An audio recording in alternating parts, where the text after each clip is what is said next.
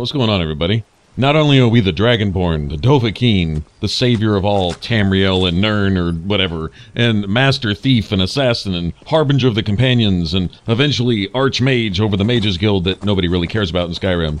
But uh, now we're to be a moth priest or something, because we need to go get this Elder Scroll translated, and apparently we're going to be able to do that if we can go find this sanctuary place and uh, under the directions from our friendly moth priest who has gotten himself blind by reading an Elder Scroll without properly preparing first. Uh, we go here and follow his instructions, and supposedly we can figure out how to do it for ourselves. What's a milk drinker like you doing out here? Why? What are you gonna do? Cry? I don't have to take that from you. I was kind of hoping you didn't, because I need some orc blood, and, uh, well, nice of you to volunteer and all that. Poor orc just strolling down the street. I just had to stop and pick on him. like that. He goes, Why? You gonna cry? what are you gonna do about it? Huh? Nanny nanny boo boo. Alright. Let me have that. Okay, we still need uh, all the rest of the elves. But that's cool. Got the orc out of the way. I don't think the orc would have been a problem, though. I think you can find an orc in just about any bandit camp. Anywhere. I'm no fan of the sun. It'd be better than this. At some point in our journeys here, that we're going to come across Falmer, though, and uh, that'll be nice. And then High Elf will be easy. I, I, honestly, I'm I, I'm still thinking the Dark Elf is going to be the hardest one to find, or maybe Wood Elf. Although among the bandits, probably a good percentage of your archers, the ones running around with a bow, are going to be uh, Wood Elves. At least that's what we're hoping. I'll go I'll go attack some bandit camps that I know about. Probably just make a little side trip and just go do a few of those. Try to get him out of the way. Then we'll go return that to Hermaeus Mora and get our Ogma Infinium.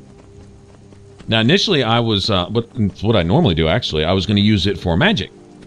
Because other than enchanting, um, all my magic skills are up to 100. Well, uh, I was thinking in this case, since I'm having such a hard time getting my light armor to 100, I'm right around 90. I don't remember exactly how many points per skill you get with the with the book. Uh, it's either 5 or 10. I know in Oblivion it was 10. It was 10 points towards, um, like, skills and attributes and stuff. Um, in this, in this I'm thinking it's 5. 5 for certain related skills, like, you know, all the magic skills and then all the thiefy type skills. And I'm thinking, uh, I guess thief skills would be the one. And you know what? Um, I don't think I have any of those skills to 100. My archery is still pretty relatively low. Um, trying to think what else is what else is. Let's see, sneak would be the obvious one. I think light armor is actually a, a thief skill. All right, so I'll, I'll probably be picking that. Probably be wise to do a save first to make sure that I pick the right book for what I want. Believe that's how it goes. Anyway, we'll figure it out. Whatever it is, I, I want to take whatever gives me points towards light armor. Just because. Anyway, This must be so so here's this cave. Supposedly there is a ancestor moth hmm. like Not very shrine impressive, is it? or sanctuary If this type place here. A wasted trip. Your friend Dexion and I are gonna have some words when we get back. Oh, I hear you, Serana. I'm being a tough guy, gonna go pick on a blind man. Okay. I'm impressed.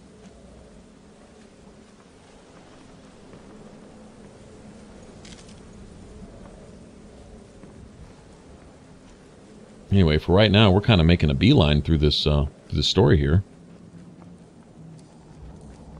Once again, just more content for this uh, Dawnguard DLC. It's freaking huge, man. All right, let's see if Serana changes her tune now. So we come out into the clearing. Look at this. I actually love this place. Wow. Look at this place. No one's been here in centuries. I doubt there's any other place like it in Skyrim. It's beautiful. Nice. A little more impressive, huh? She doesn't sound like, uh, I guess, your typical vampire. Really well developed character. Serana, just all the way around.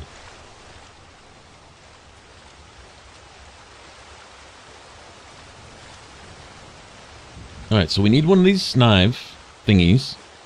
Well, we got the knife. Now all we need to do is track down one of those canticle trees. Which we happen to have just sitting right here conveniently, of course.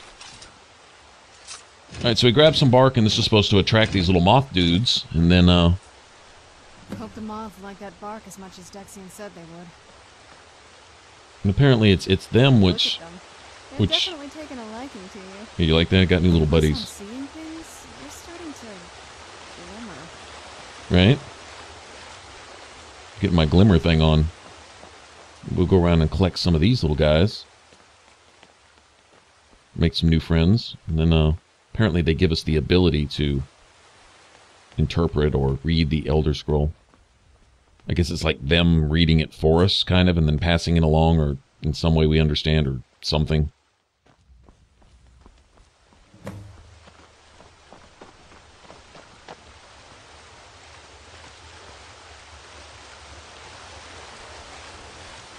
Not gonna lie, the very first time I ever came through here, uh, I ran around trying to uh, scrape all the trees if I could.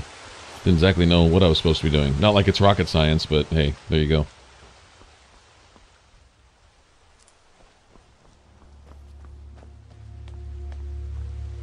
This is really cool. Obviously, it's reminiscent of the uh, the Eldergleam Sanctuary, kind of similar.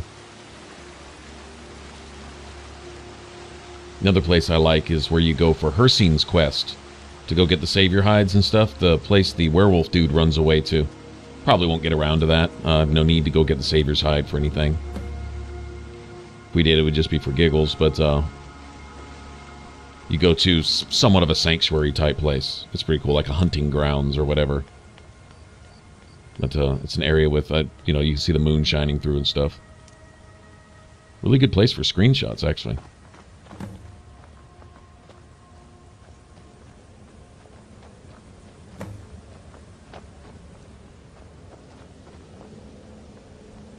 This is pretty cool. The moths are like resonating with our being and everything, man.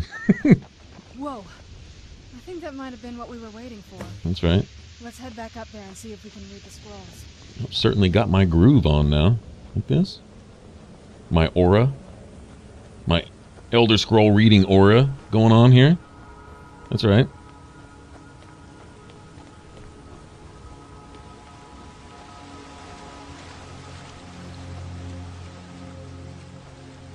Music is awesome too. It brings, brings kind of a peace to the place. If I was living in Elder Scrolls world and Elder Scrolls time, I might consider being a moth priest myself. Get the cool music and little moth dudes floating around and being all cool and everything.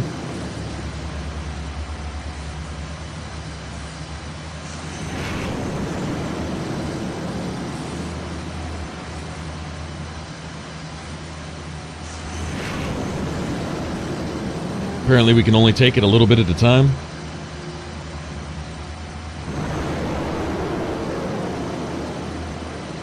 Alright, so I guess we have a map here.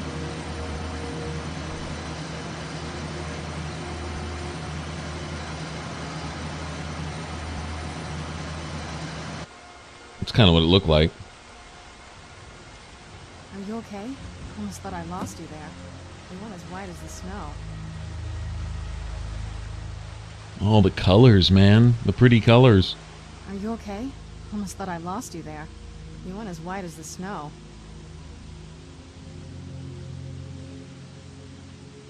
I could see it in your eyes. You looked about a thousand leagues away. What about Auriel's bow? Do you know where we can find it? Then it's almost over. We can finally put an end to this ridiculous prophecy. Where is this Darkfall cave? Then let's get going. I want to get there before my father has a chance to track us down.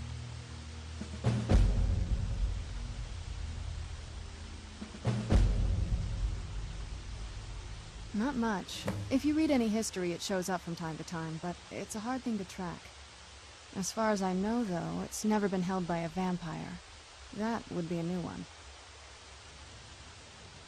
Auriel is one of the elven gods. He's with the rest of them in Aetherius. The way I've heard it, the sun represents the connection from our world to theirs. Supposedly, the bow draws its energy from the sun itself, which is why it shows up in that prophecy. Uh oh. That part I don't know. Oh, well, awesome.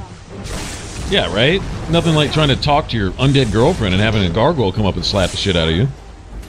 Okay, well, can't you see we're in the middle of a conversation? You, this couldn't wait? Just for a minute? Alright. I've got something for you.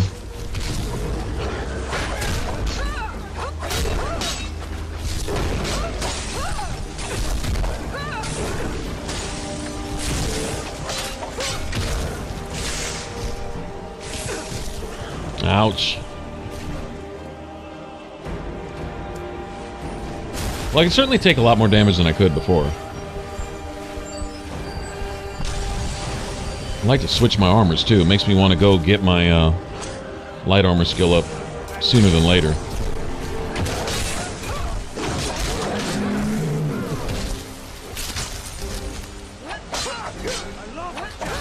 Yeah, I have my uh, my gear that I made. If you remember a few videos back when we actually made the whole set, I'm just I just kind of have my main armor piece off to the side because it has a light armor enchantment on it, and I don't want to put that on yet. I don't want to put my light armor skill unnaturally over the 100 point mark because I'm afraid it won't go up anymore after that. And it's taking so long just to get one stupid point in light armor that I mean I don't know. I guess I could play for a couple hours and just keep getting hit until I eventually find out whether it's going up or not. But it just sounds annoying. Not gonna worry about it too much, but uh, if I do get a chance to get some free light armor points, I'm certainly gonna do that.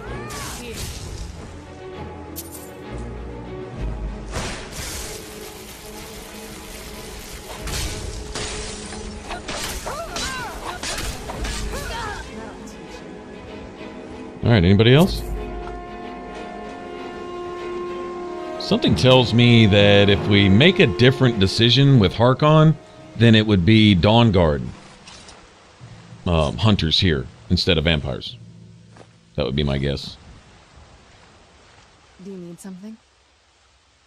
Not much. As far as I know, though, it's never been held. Auriel is one. The way I've supposedly the bow draws its energy. That part I don't know. Once we have it, hopefully it'll be obvious.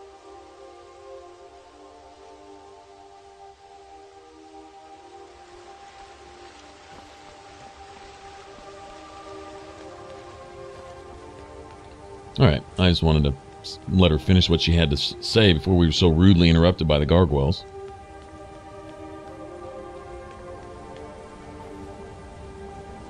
In case there was anything important. All right, so Auriel is a chief deity or whatever amongst the ancient elves or something. So Auriel's bow, I guess, would be like a divine weapon, and uh, Harkon wants to do something with it. Use it somehow to end the tyranny of the sun. Essentially, to blot out the day or something, right?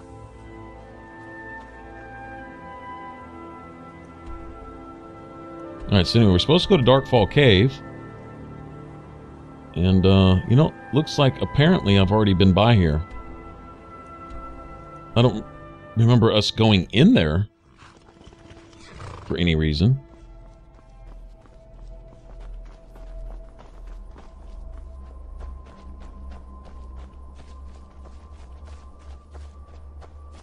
But, uh, yeah, I, I, I have no idea even when we were here, what we were doing. But apparently we've already been over in this area.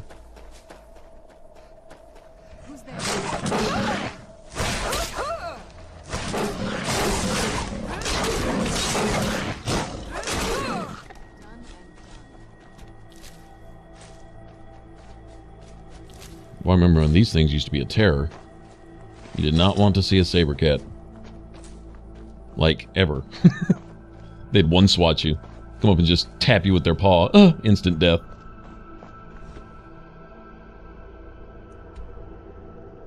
Tell you what, you know what? Um, I've been thinking about this, and before I forget, let's just head over here real quick. If you remember, there's a standing stone, which we uncovered. Oh, we were doing something else related to this. Um, I think we were looking for Serana's cave, where we initially found Serana. Anyway, I think it was the Lord Stone.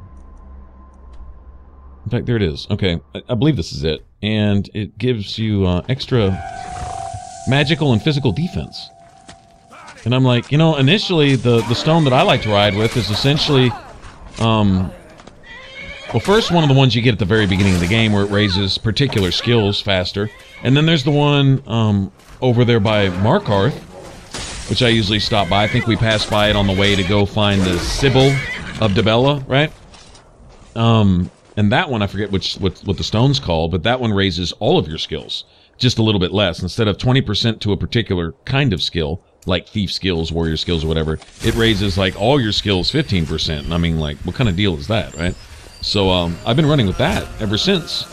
But uh, I have a lot of my skills to where I need them. I'm not going to worry so much about that. But uh, a little extra defense all the way around actually sounds good to me. Now, if they had standing stones like they did in Elder Scrolls Online, which just straight up gave you a um, an extra critical damage, extra critical chance, you know, stuff like that, or just maybe just weapon damage, period, or something, um, I would I, I, would run with that. I'm a DPS based character, but um, yeah, tired of hearing you moaning. Anyway, I want your stuff.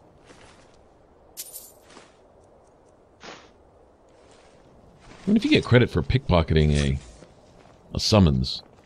I wonder if you even can pickpocket a summons. Oh.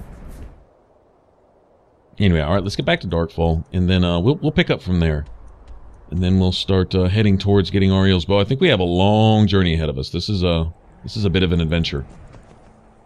Massive cave system, then a, a forgotten or forbidden vale or someplace like that. Anyway, and then uh, finally get to this temple. Anyway, we've got a long ways to go. All right. So uh, appreciate you watching, and uh, we'll pick up from here on the next one. If you want to subscribe, click that button up top. If you want to catch the rest of this Let's Play up to this point, click that image there in the middle. Should send you to the playlist. All right, I'll catch you guys in the next one. Y'all take care. Bye-bye.